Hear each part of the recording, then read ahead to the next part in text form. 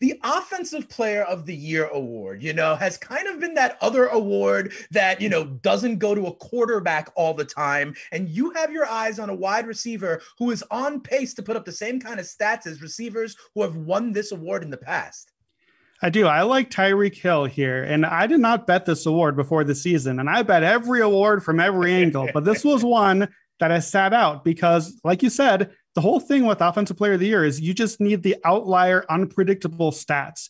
By definition, we can't predict that. So we have to wait till we get some numbers. And I'm starting to wonder could Tyreek Hill be that outlier? Look at some of the games he's had this year through six games 11 catches, 190 yards, 160 yards, 177 yards. It's three games of 160 yards in the entire NFL. There are eight games with 160 yards so far this season. Tyreek Hill has three of them.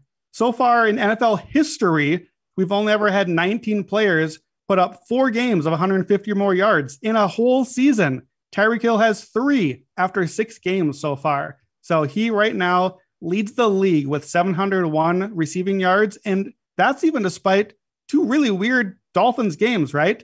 We had the game against the Bills where Tua, well, let's just say he had some health issues without getting to that. He only had 33 yards in that game. He had another game where Teddy gets hurt on the first play and Skylar Thompson is in. So we're playing with a third string rookie all game. Even with those two bad games, 701 yards on pace for 1,986 yards.